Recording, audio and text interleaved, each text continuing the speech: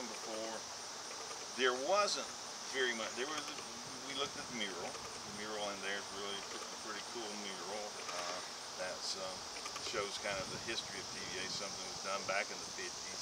Still there, available for people to see today. But some of the uh, some of the kiosks and things that tell more of the history.